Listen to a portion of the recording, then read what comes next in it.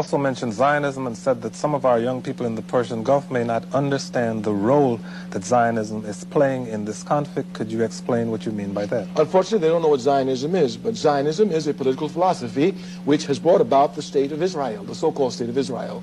This, this political philosophy has nothing to do with religion.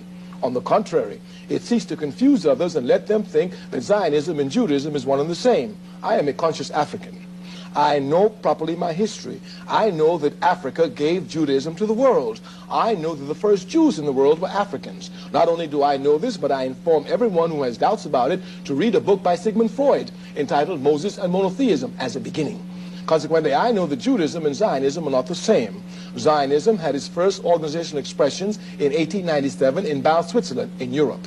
Here was a man by the name of Theodor Herzl, H-E-R-Z-L. He was the founder of Zionism. He said that he was going to find the state that God promised the Jews. Listen to this very carefully. This man, Herzl, was an atheist. He believed that there was no God. He said God did not exist. Now, how is it a man who believes that God does not exist is going to find a state that God promised to his chosen people? I'm telling you, this man is Satan in disguise. Zionism is a satanic movement. It is devil. It is imperialism. It is racist. It has gone and taken the lands of the Palestinian people and through terrorism has driven them out. And through terrorism, it maintains its power. And the United States of America, with over six million homeless, sends to the